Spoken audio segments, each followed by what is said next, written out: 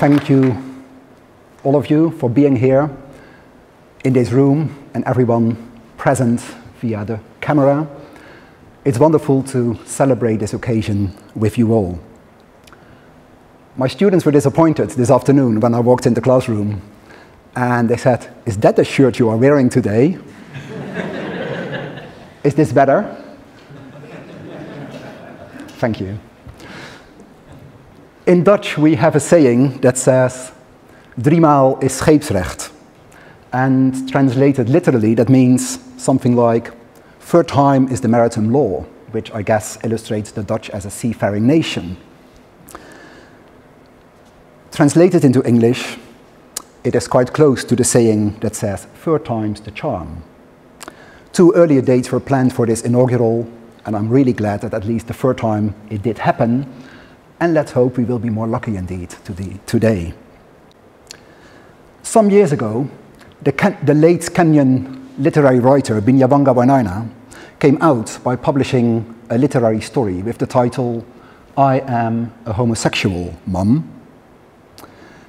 In this beautiful and intimate story, he reimagines the last days of his mother's life, telling her on her deathbed the truth about his sexuality.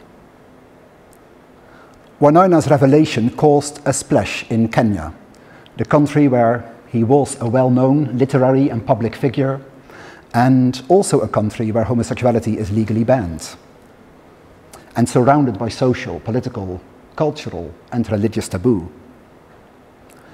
For Wainaina, coming out as gay was a deeply political move. In his own almost messianic words, he framed his coming out as an intervention in a moment in time, and he referred specifically to the um, development in Uganda and Nigeria at that time. Uh, both countries were passing new anti-gay laws uh, at that moment. Further expanding his intervention, Wainaina also released a six-part video commentary titled We Must Free Our Imaginations. In Wainaina's analysis, the recent politicization of homosexuality that had taken place on the African continent since the late 1990s is the result of the African imagination continuing to be colonized. After all, it were the British colonizers who introduced anti-sodomy laws in their colonies. And it were European Christian missionaries who introduced a norm of heterosexual monogamous marriage and nuclear family life. Decades after African countries had gained political independence, the emergence of a new wave of social, political, and religious homophobia, for Wainaina exemplified the bankruptcy of a certain kind of imagination, because colonial norms of sexuality continue to define African attitudes and laws. Echoing Ngugi wa Thiong'o's highly influential essay, decolonizing the mind, Wainaina argued, it is our job, our generation, to say we are in charge of the future. We are in charge of our fate. In his video commentary, Wainaina discusses at length the role of popular Christian movements, in particular Pentecostal charismatic movements, in Africa, fueling homophobia he sees Pentecostalism as a highly conservative movement that continues the colonization of African minds.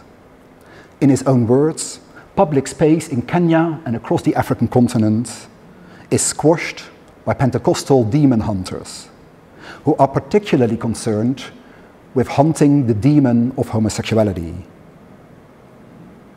Christianity, especially in its Pentecostal form, for Wainaina is an obstacle in the much needed process for Africans to free their imagination, to decolonize the mind, and to take charge of their own future. Wainaina is certainly not alone in this analysis. For instance, the great Nigerian writer and public intellectual and Leeds alumnus, Wole Soyinka, speaks of popular religion, especially Pentecostalism, as something that threatens the very fabric of the continent. However, as a progressive Pan-African thinker, Wainaina also acknowledged that there are other possibilities within Christianity. In a long Facebook post from 2015, he invoked the Jesus of James Baldwin and Martin Luther King.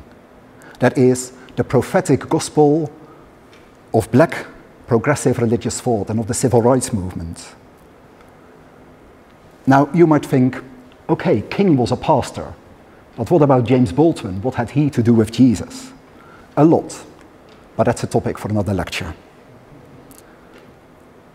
This Jesus, the Jesus of James Baldwin and Martin Luther King, according to Wainaina, critiques popular form of Christianity on the African continent.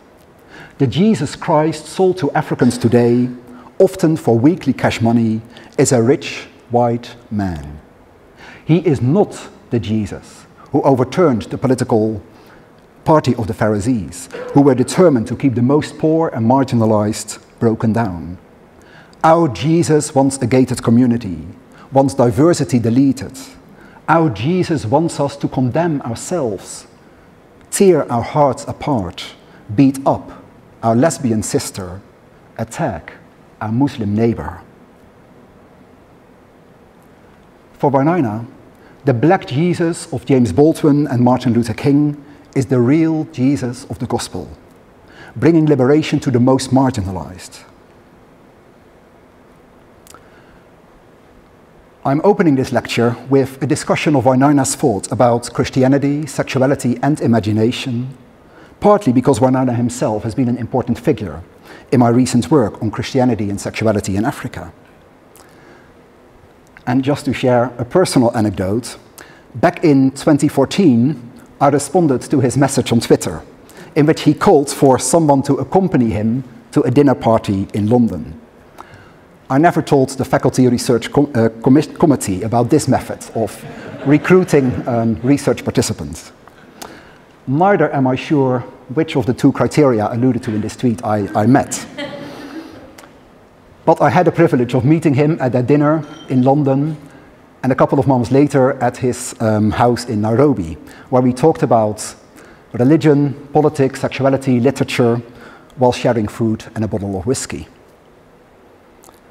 Wainaina also showed up a year later at the British Institute in Eastern Africa, just at the moment that I was about to give a paper titled Binyavanga Wainaina as a Queer Prophet. And I have to say, it was a bit nerve wracking to have the prophet himself in the room. Wainaina stepped on World AIDS Day 2016 to share his HIV status by tweeting that he was HIV positive and happy has been an inspiration for me personally to engage in a similar act of personal, embodied, and intimate self disclosure.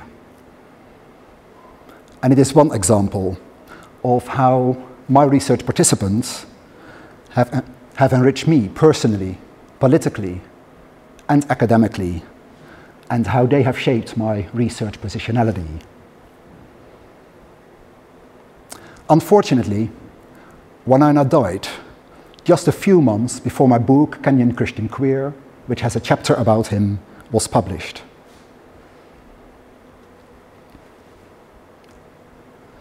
Yet the discussion about Wainaina, with which I opened, is also important because it brings us to the heart of the question central in this lecture. Can Christianity be part of a progressive imagination of sexuality in contemporary Africa? And I wish I had given you red and, red and green cards so that we could do a poll um, about your response to that uh, question. This question has become more pertinent in recent years as heated debates about decolonization have re-emerged, as well as debates about queer politics in Africa. Highly influential scholars such as Kwame Bediako, John Mbiti, and Lamin Sanneh argued already years ago that Christianity can be considered an African religion. But recent debates make us ponder the question again. Is there a decolonial future for Christianity on the African continent? And related to that, can Christianity contribute to what Stella Nyanzi has called the queering of queer Africa.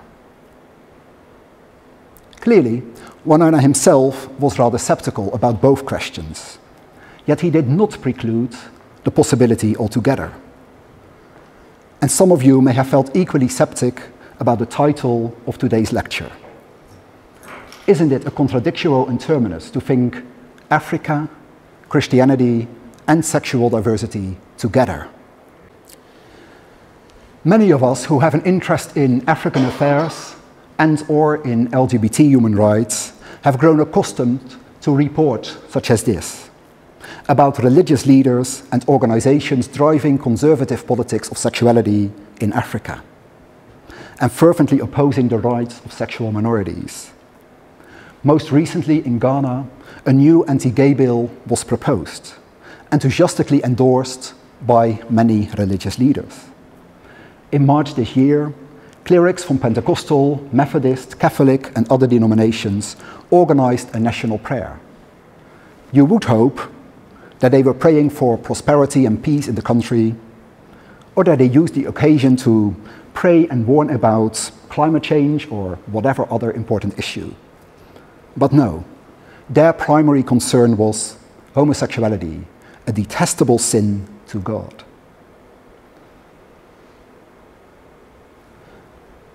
a lot can be said about the reasons why much of Christianity in Ghana and across the African continent has become so deeply invested in these moral panics by reinforcing the idea of homosexuality as a danger to the family and as a threat to the nation, and as something at odds with African values. Two books that I edited with Ezra Chitando a couple of years ago offer detailed analysis of these dynamics in a range of African countries. They carefully unpack how public religion in post-colonial Africa has come to manifest itself in clash with increasingly public forms of non-normative sexuality. In this lecture, however, my interest is a different one. In recent years, I have become increasingly interested in the ways in which religion is also part of counter mobilizations. Empirically, this interest was informed by my observation and perhaps my surprise that many of the queer folk I met during my research, initially in Zambia and later in Kenya, often identified as Christian, and not only that, but also in many cases were active churchgoers somehow they found ways to negotiate their sexuality and their faith in the face of very intense, religiously driven homophobia. Many queer activists and artists across the continent engage with resources from Christian traditions in creative ways in order to claim visibility and recognition. Theoretically, my interest was also inspired by the notion that public religion is always a space of contestation, open to multiple and conflicting interpretations. And Pentecostalism, as my students in my, in my module, Pentecostalism as a, module, as a public religion in Africa know, Pentecostalism as a highly public and dynamic religion is particularly prone to such public contestations as well as innovation. As a scholar with feminist, decolonial, and queer commitments, I am committed to exploring and foregrounding counter discourses that emerge from the margins. Because such counter discourses help us to debunk any generalizing narrative about Africa, religion, and homophobia. They also help to identify the potential for social, political, and religious change it is of vital importance to acknowledge the complexity and multiplicity both of the African continent, which I think is a key task of any African studies scholar, and of religion, which is a key task of any religious studies scholar. The complexity and multiplicity of Christianity in Africa in particular has motivated Asonzeh Ukah, among other scholars, to argue for the plural term African Christianities. The plural in Ukah's words, is to emphasize these different strengths or traditions that may or may not be compatible to one another. So as much as the center of gravity of global Christianity has shifted, has shifted southwards, with Africa becoming, or having become, its most important heartland, we should not think of this global South Christianity as the next Christendom in any monolithic term. As Toyin Falola puts it, there are multiple faces to the question of Christianity and social, social change in Africa. The plurality and constant innovation of African Christianity opens a range of possibilities to imagine African Christian futures, including, I dare to suggest, queer affirming ones. Pondering about what he calls Afro queer futurity, Kwame Otu writes African queer Christianity, an interesting twist. These analytics, never construed as entangled, share such productive affinity. But how to explore this affinity? The central claim that Ezra Chitando and I make in our recently published book, Reimagining Christianity and Sexual Diversity in Africa, is that a variety of African thinkers, writers, artivists, and activists have already begun to reimagine Christi Christian traditions in support of the quest for sexual diversity. They do so by creatively and critically engaging religious texts, symbols, imagery, language, in order to explore the possibilities of queer African futures.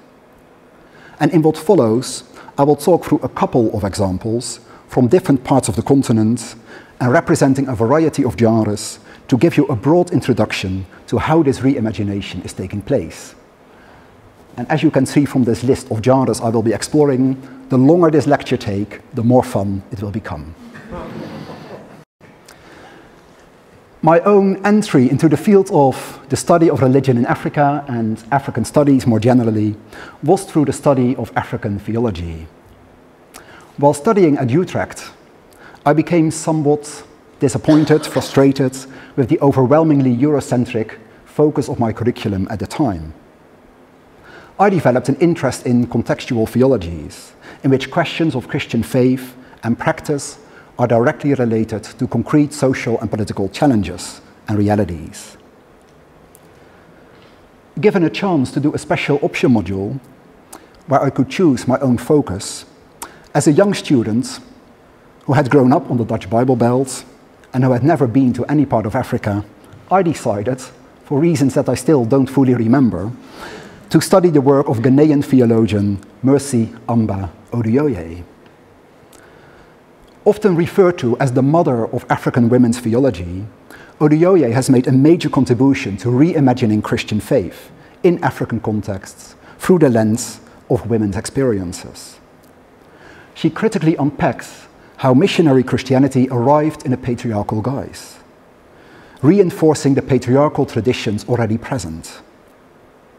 In her analysis, this resulted in women being marginalized in the Christian church and directly laid the foundation for violence against women in society today. But going beyond this critique, Oduyoye develops a theological hermeneutics that blends African cultural and religious traditions with biblical texts and key tenets of the Christian faith and with women's life experiences. And doing so, she creatively develops a theology that affirms women's dignity and, ri and rights and empowers them in their quest for life, justice, and healing.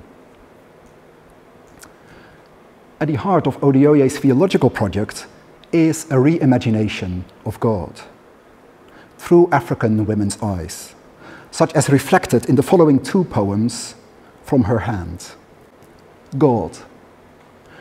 Growing up in my father's house at the missionary's feet, I saw you as a grey bearded white man from a far away land, a large, all seeing, all knowing eye, stern and demanding, thundering, throw away your brass, your woods, and stone idols, they said. He is a jealous God, so serve no one but He. Burn your totems and change your name. Save your souls from heresy. Compare this poem to the second one. God is the life force that surges through one woman and causes her to drag the children to, to shelter from the elements. That's God. The sense of worthiness that drives a young woman to face the authorities and to tell them, now is the time that's God. The constancy with which all creation seeks to increase, multiply to maintain, their communities on earth and sky, that's God. God is life. God is worthiness. God is a constant community. What we see in these two poems is the shift in Oduyoye's perception of the divine, from the colonial, patriarchal, and oppressive God introduced by white missionaries to the divine imagined through the eyes of a black African woman, affirming the human quest for justice, for life, for freedom, and community. I ended up writing an extended essay about Oduyoye, and my lecturer at the time invited me to give a presentation to undergraduate students about it, which must have been the first class that I ever taught.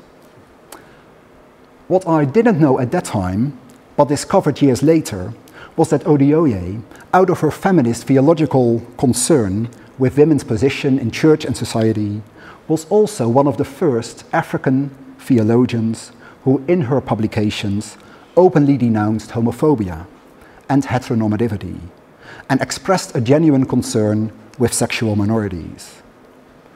As early as 1993, she wrote an essay in which she stated to be horrified by the demonization of homosexuals. And she drew a direct parallel between homophobia and what she called the phobia of childlessness, experienced by childless women in Africa, a reality that she knows personally too well. A later publication in which Oduyoye writes about her own experience as a married but childless woman can be read not only as an African feminist, but also as a queer theological text. Here she proposes a theology of fruitfulness that goes beyond the norm of biological procreation. She calls upon the church to acknowledge the diversity of God's gifts and to celebrate all the ways of bringing forth life. That is, the many different ways in which human beings can lead a fruitful life, regardless of their reproductive capacities, their marital status, their gender identity, or their sexual orientation. Together with the legendary Desmond Tutu from South Africa, Oduyoye is among the first black African theologians to engage in a progressive theological imagination in which Christianity enhances the quest for sexual justice. For each of them, this was inspired by their primary concern with a different category. In Tutu's case, the category of race and his personal experience of apartheid. In Oduyoye's case, the category of gender and her personal struggle with patriarchy. Building on this principle, any emerging African queer theology is intersectional as the popular saying goes, justice denied to one is justice denied to all. And in the light of recent developments in Ghana, it is comforting to know that one of the most influential theologians that the country has produced is, in fact, highly critical of these developments, of these popular Christian anti gay politics, and has provided a strong basis for alternative ways of thinking.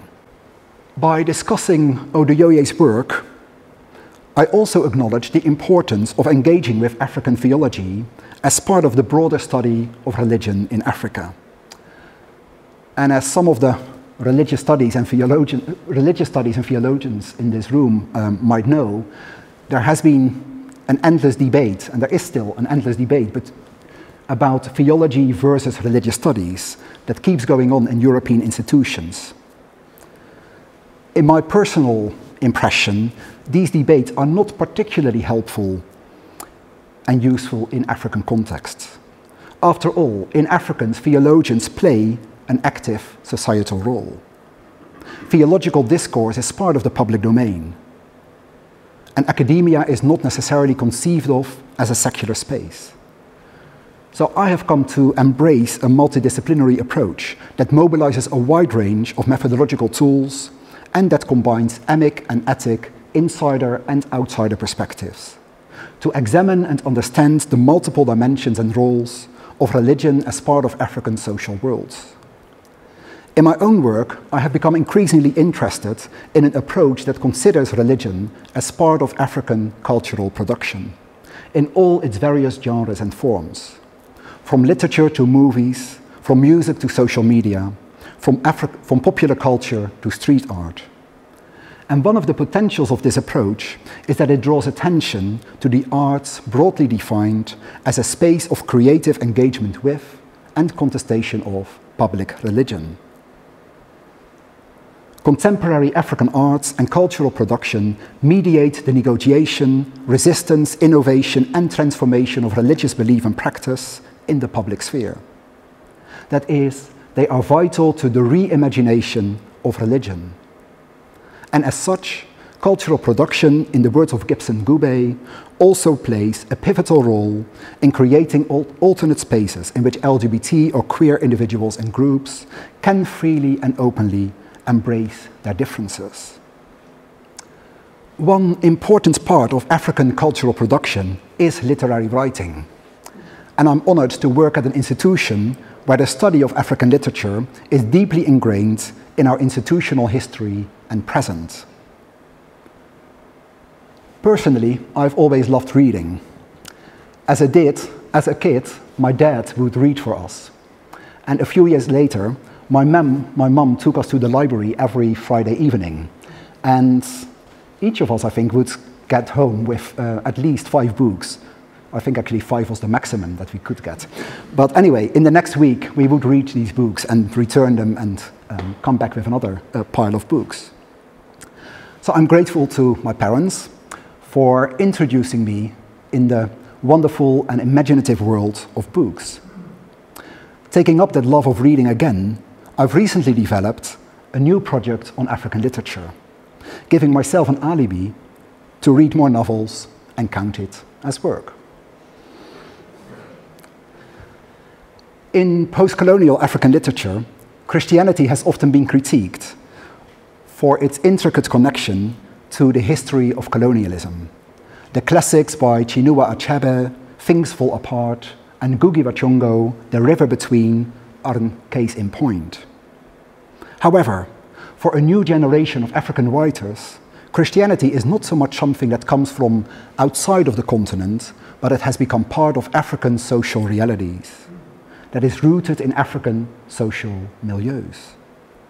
So, recent literary texts allow for a critical, but also a nuanced and constructive engagement with Christianity. Moreover, recent African literary texts have engaged with the hitherto controversial theme of same sex relationships. And a fascinating example of a text that intersects these two themes is the novel Under the Udala Trees by the Nigerian Igbo writer Chinelo Okparanta. This beautiful novel presents a female same sex love story in a narrative that includes plenty of references to religion.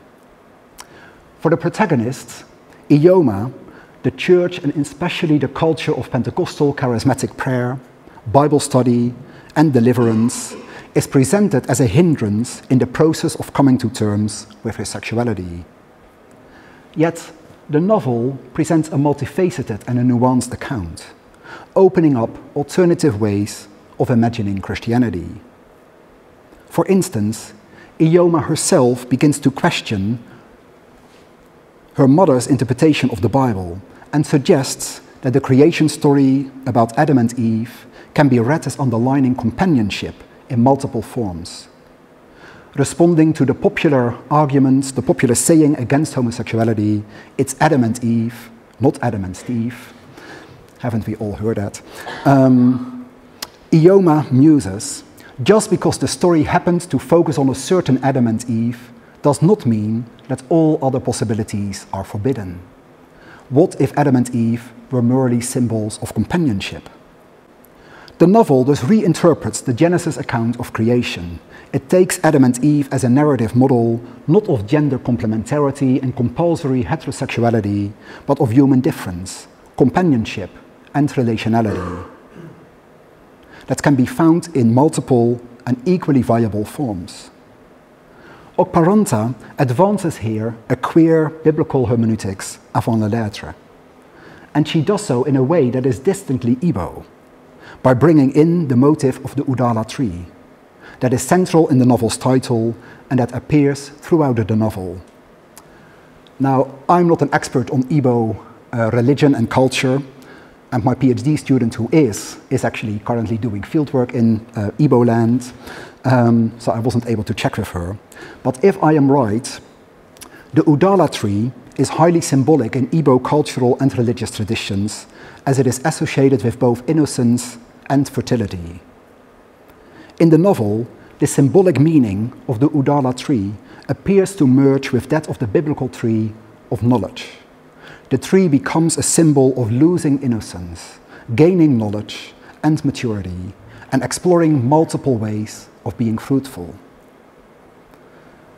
Obviously, the Bible plays an important role in African, in African societies, not just in the religious sphere, narrowly defined, but also in society and in the public sphere much more generally. And as such, the Bible is often used to reinforce conservative attitudes towards sexual diversity.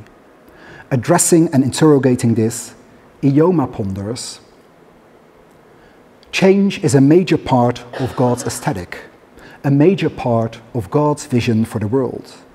The Bible itself is an endorsement of change.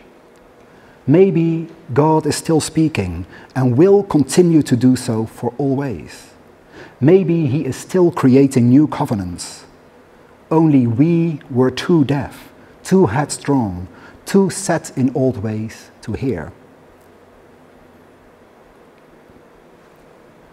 Moreover, Ijeoma's staunchly conservative mother, who throughout the novel uses the language of abomination and deliverance in relation to her daughter, at the end of the book concludes God, who created you, must have known what he did.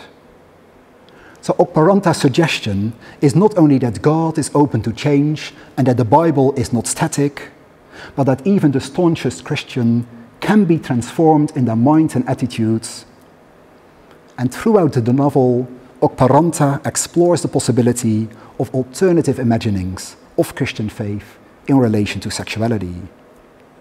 Putting Okparanta's notion of the Bible as an endorsement of change into practice, over the past couple of years, I have worked with my amazing colleague Johanna Stiebert and with a community based organization of LGBT uh, refugees in Kenya, the Nature Network, which is equally amazing we worked together on a project about retelling Bible stories from LGBT refugee perspectives.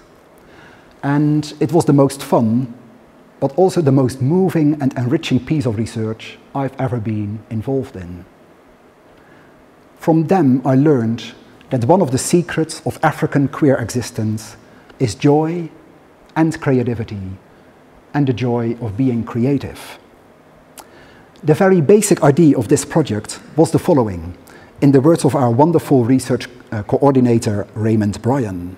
In this project, we creatively used stories from the Bible to tell our own life experiences as LGBTI refugees. The Bible is often used against us. But in this project, we reclaim it as a book that affirms and empowers us.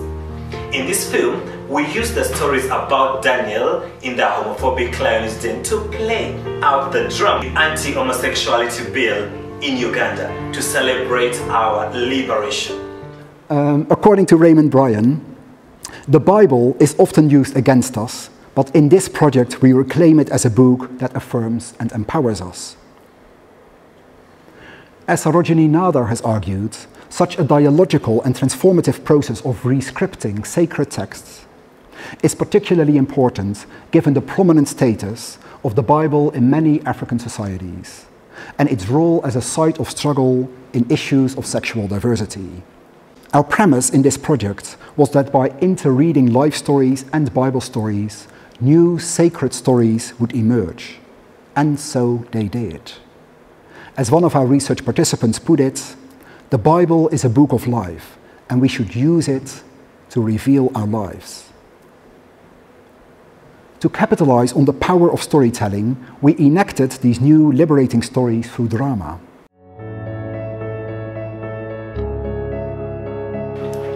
Daniel! Yes? Hey, you have been released by the president. Oh, You're free. I knew this from happening. God has helped me. Ah. I knew I would get up by the power of God.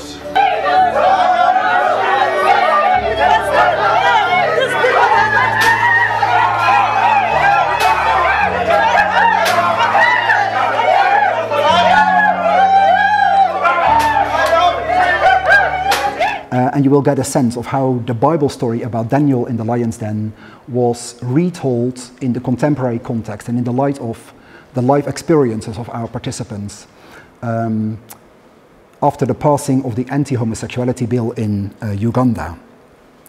And in our retelling of this story, the biblical Daniel becomes a gay rights activist who is resisting the anti homosexuality bill, who, after the bill is passed through parliament, ends up in prison, but, as in the Bible story, is miraculously released and is able to, read, to lead his life in freedom.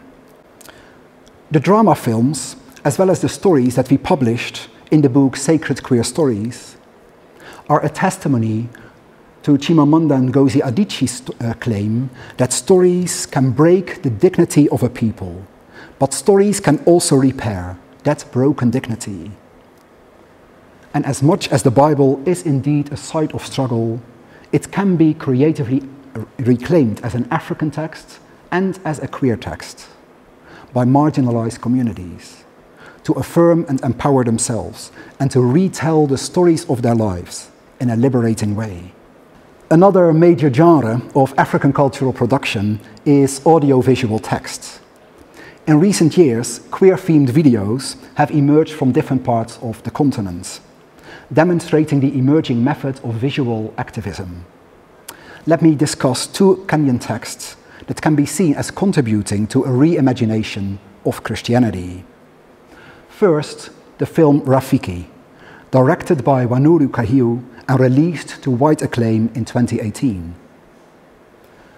Rafiki tells the story of a romance developing between two young women, Kena and Ziki, in an urban Kenyan setting and amidst family pressures, as well as the socio-political contestation over gay rights in Kenya. In the film, Christianity is part of everyday life. We see Christian imagery and language, language throughout the film, Kena's mother is depicted as a deeply religious figure. The church is an important part of the neighborhood, and the pastor an influential figure. Christianity is depicted as a driving force in the struggle that Kena and Ziki face when their friendship develops into a blossoming love. The pastor delivers a sermon that is typical of religious anti gay speech widely prevalent in Kenya and other countries on the continent. There are Kenyans, he preaches, who are challenging the government because of their stance on homosexuality and same sex marriage. They say it's a human right. But what is a human right? Isn't it God who decides what is right and what isn't? Later in the film, Kena is taken to church, where her mother asks the pastor to pray over her daughter and deliver her from the demon possessing her. So the film addresses the widespread notion that homosexuality is the result of demon possession and that the queer body is in need of deliverance. However, the deliverance fails. Kena is as tomboyish and as same sex loving after the ritual as she was before. So the film suggests that sexual orientation is not something that can be healed or corrected through any spiritual intervention. And the pastor's claim that God's laws don't change is subtly interrogated in the film when, in the opening shot, it shows a religious text written somewhere on a wall, reading, I have no other God but you. You have done what no man has done. You will do what no man can do. At first sight, this image illustrates the way in which Christian language influences public space and has become part of the aesthetic of modern urban life. However, this specific text entails a promise and can be read as prophetic. Watching the film, one might reach the conclusion that gay rights are impossible in Kenya. However, this slogan suggests that with God all things are possible, and the positive ending of the film underlines this optimistic message. Kena and Ziki are reunited many years later. Love will prevail, queer love is possible. Where the film Rafiki is somewhat subtle in bringing across this alternative imagination of Christianity, the music video Same Love is much more explicit. Produced by George Barasa and released in 2016, this film ends with a quotation from the Bible, 1 Corinthians 13.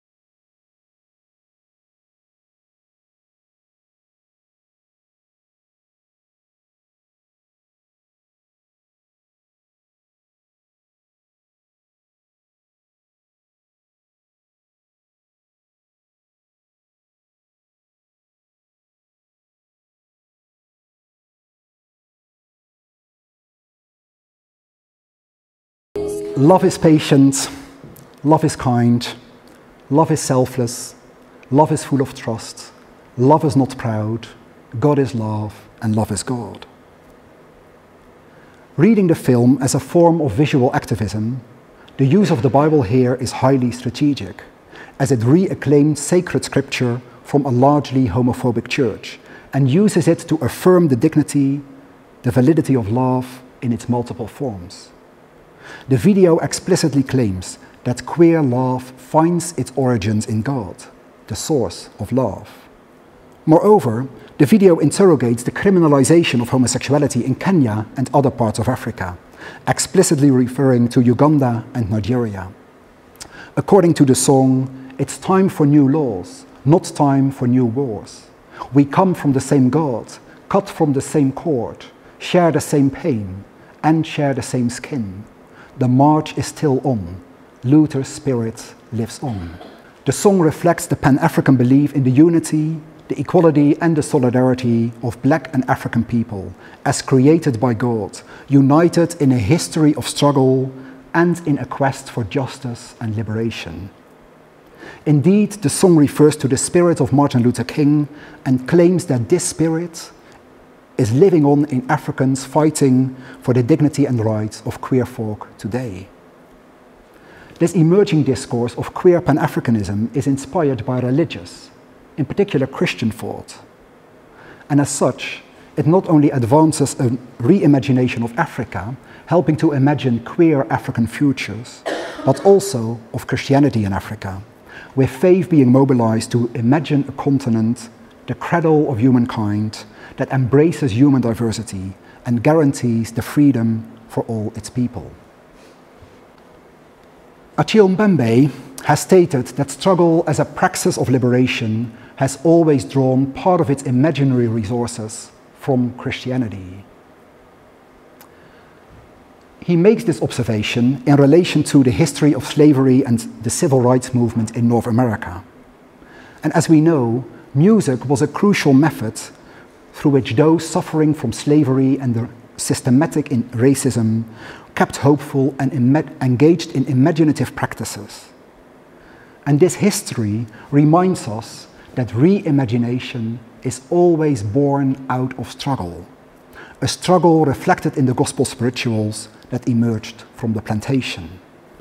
Now, music is also central in contemporary African religious cultures. Gospel music, according to Damaris Parsitau, is the fastest growing musical expression in many parts of Africa today. And the significance and meaning of particular songs and lyrics is always contextual.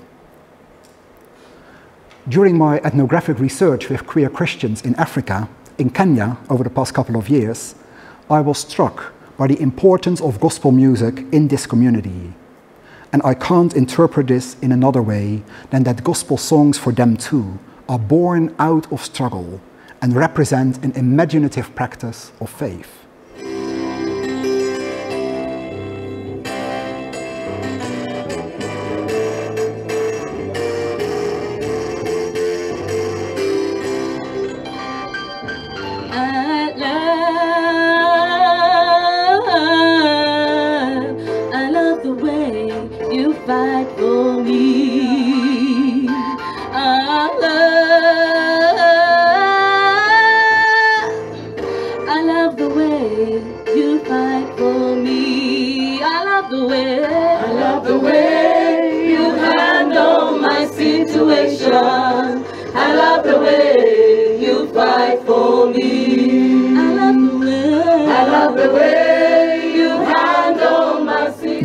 Particular song, I Love the Way You Handle My Situations, was the most popular song in Cosmopolitan Affirming Church, an LGBT affirming Christian community in Nairobi, at the time that I was conducting my fieldwork with them. And these lyrics of this song, I love the way you handle my situations, I love the way you fight for me, are especially meaningful, taking into account the struggles that church members have been going through and the challenges that they still face in their day to day lives because of their sexuality. In the context of CAC, this song becomes a song of empowerment and encouragement for queer people of faith. Indeed, this song reflects a reimagination of Christianity, with God being imagined as a source of affirmation, acceptance, support, and even defense of queer folk, many of which face exclusion, marginalization in their communities. Ngugi wa Thiong'o has said about the African American spirituals that they represent an aesthetic of resistance with a force of beauty and an imagery of hope. These same very words apply to the beautiful songs of the CAC choir. By thanking God for fighting for them, they also claim that God is on their side in the struggle for existence and recognition. And by endlessly repeating this song, the song becomes empowered, becomes performative. It becomes a performative anticipation that this struggle will be won. By singing, they imagine, and they help to create a world, the world they are hoping for, a world of love and acceptance, of dignity and rights, of justice and freedom. When Iwan Obinyan, hi Iwan, David Ochar and I produced the documentary film Kenyan Christian Queer, we tried to capture the important role of gospel music for African queer world making in the opening of the film.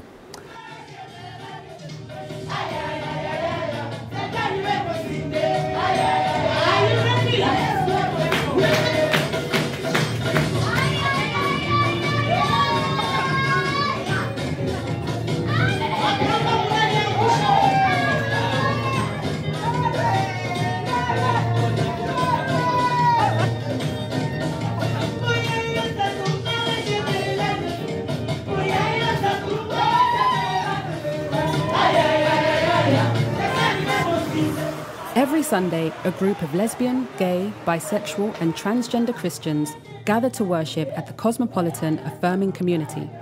Affectionately known as CAC, this is the first LGBT church in Kenya.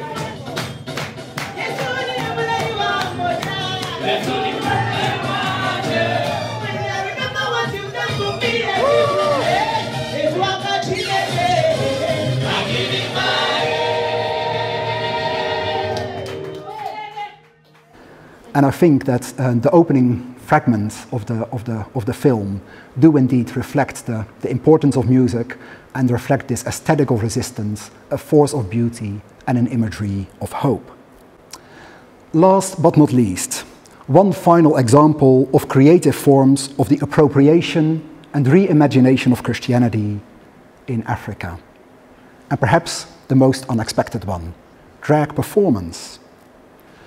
And the example in question comes from South Africa, the country of my first personal encounter with the African continent.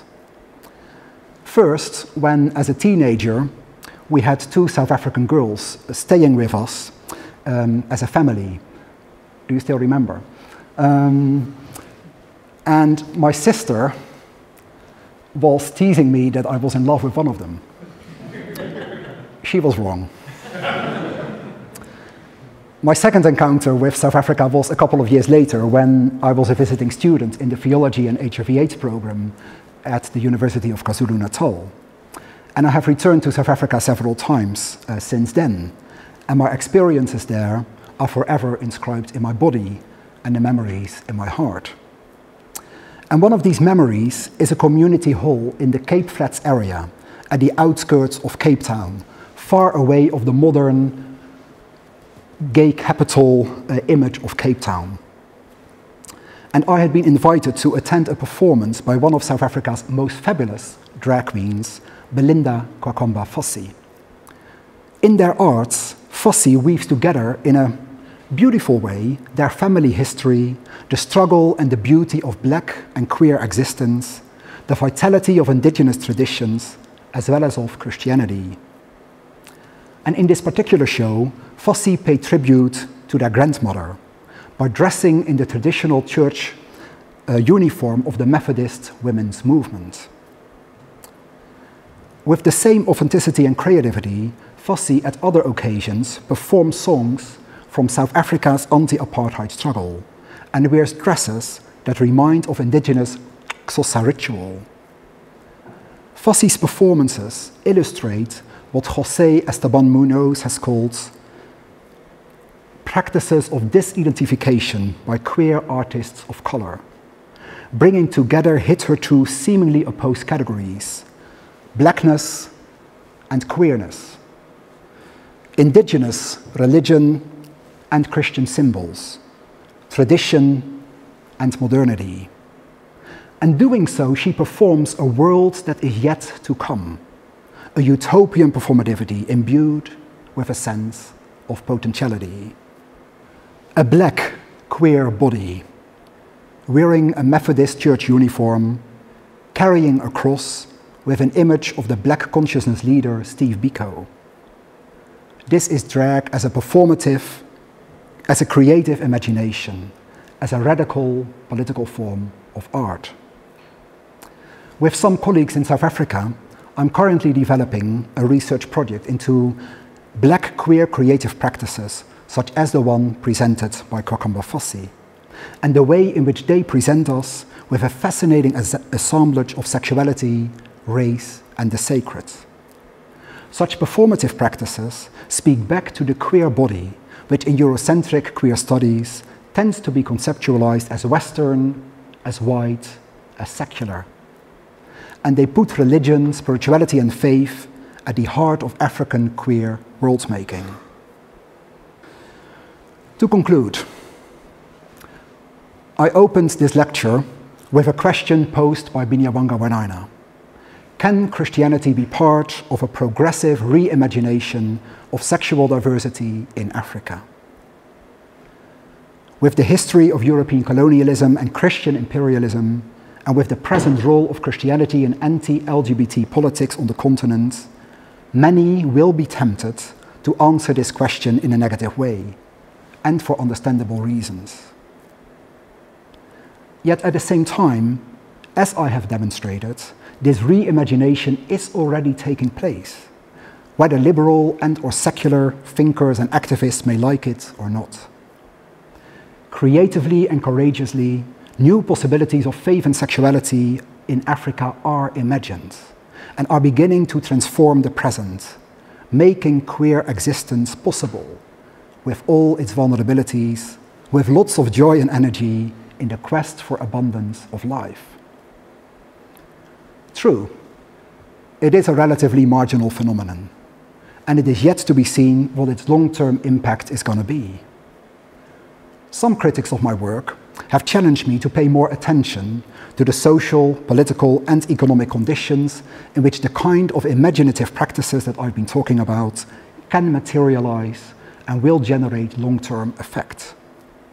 And certainly that is a fair and an important question to ask especially for social scientists and political economists. But the value of arts and humanities research is also in identifying and exploring creative and critical narratives that emerge from the margins, even if those narratives don't seem viable at the time. From Martin Luther King, we know that any struggle for justice, any movement for social, political, and religious transformation starts with a dream. And with the risk of ending this lecture as a, as a sermon, which might be to the joy of my mum, who I think still hopes that one day I will become a clergyman. This is a dream, in King's word, for a dead day when all God's children will be free at last. Finally, delivering this lecture today, I am grateful to each and everyone who has supported me in my academic journey, which in many ways has also been a very personal journey. I'm particularly grateful to the intellectually vibrant but also socially supportive and very collegial community here at Leeds, both in the School of Philosophy, Religion and History of Science, the subject area of Theology and Religious Studies, the Center of Religion and Public Life, and the Leeds University Center for African Studies. If there is one major reason why I truly enjoy working at Leeds, it is the presence of truly wonderful colleagues, but also truly wonderful students, with, with whom I have the opportunity to share my interests, my passions, and um, instill these passions in them. Today I feel honored to stand in and further build a tradition of studying religion in Africa here at Leeds.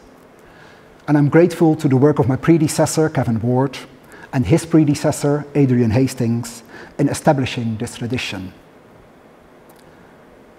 Having said so, I must confess that I also feel rather uncomfortable about the fact that I am the third white man embodying that tradition. And I am embarrassed to become a white, another white male professor in a school, in a faculty, in a university with an overwhelmingly white staff body. Nationwide, not even 1% of professors in the UK are black. 1%. Much could and needs to be said about the imperative to diversify, to diversify the staff body here at Leeds, in the field of African studies, in the field of religious studies, in the UK higher education sector at large. I will keep pushing this agenda. I'm warning you. and here at this university and beyond. And I will also keep supporting students and colleagues of color wherever I can. Let me not say more about it at this occasion. Today, I have instead performed a more symbolic gesture in an attempt to decenter white male scholarship and to acknowledge the politics of knowledge production and citation, in this lecture I have extensively cited, relied and built on the work of black African scholars, writers and artivists. I hope this brings across the message that diversifying our reading lists and our curriculum is possible if we make intentional effort.